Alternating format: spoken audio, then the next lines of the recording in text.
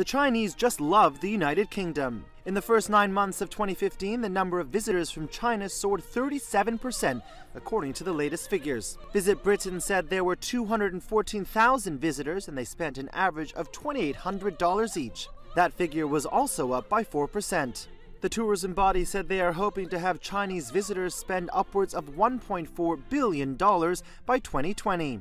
Chinese tourists already account for nearly a quarter of total tourism spending in the UK. So is it any wonder that British tourism officials are hoping for a Chinese windfall?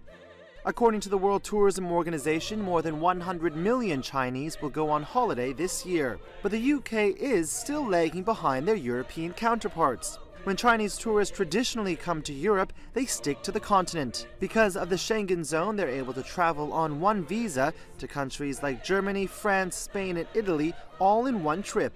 In a bid to attract more tourists, the UK government changed the visa requirements earlier this year, letting Chinese tourists apply for a two year tourist visa.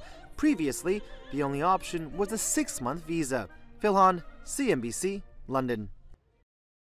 Hey CNBC fans, thanks for checking out our YouTube channel. Here you're going to find videos packed with all of the information that you need to be smarter about your finances. You can subscribe by clicking right here and click on all the videos around me or the eye right here to watch the latest from CNBC.